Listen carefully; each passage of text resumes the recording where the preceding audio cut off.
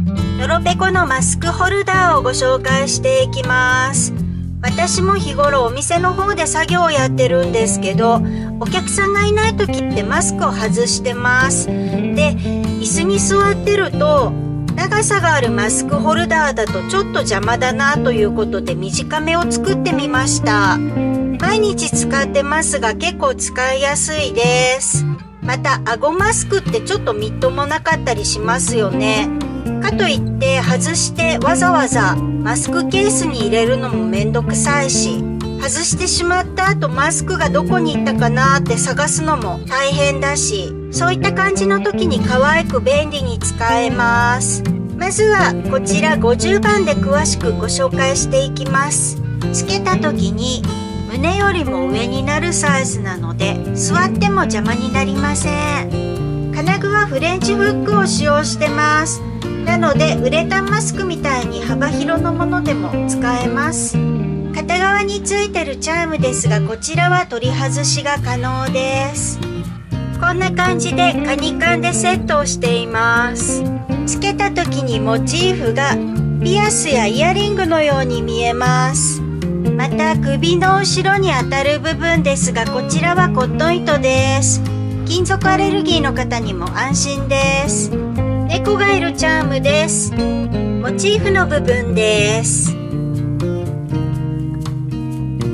番号57番。モチーフの部分です。こちらは天然石のキャンディージェードも使っています。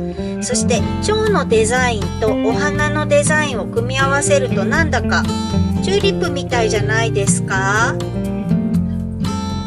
シルバーカラーのシュッとした猫ちゃんとあと鈴も下がります。49番。モチーフの部分です。スパンコールの猫で鈴があります。天然石アメジストも使っています。48番。モチーフの部分です。こちらはお星様も編み込んでいます。そして天然石のチェリーコーツスパンコールの黒猫です。鈴が下がります。よく見ると猫の上にも小さなお星様です。54番。こちらはウッドビーズも合わせています。親子の猫ちゃん。52番。モチーフの部分です。こちらは天然石も使っています。スパンコールの猫とそして鈴が下がります。胸元にオレンジのビーズもつけてみました。53番。53番は茶系のグラデーションの糸にしました。モチーフの部分です。鈴も下がります。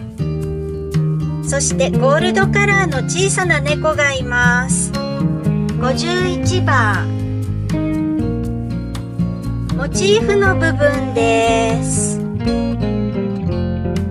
ちょっぴりナスビみたいでしょ小さな猫がいます。そして天然石アメジスト。またご希望の方はこちらのメガネホルダーを無料で差し上げてます。オプションの方で無料で選べますのでそちらで選んでください。使い方ご存知ですか？ちょっとご説明します。金具の部分にこんな感じでセットします。素材がゴム状なのでメガネの柄の部分にこんな感じで左右つけていただくとメガネが首からかけられます。老眼鏡を探す方とかにもおすすめです。皆さんこんにちは。あたちこごめちゃんです。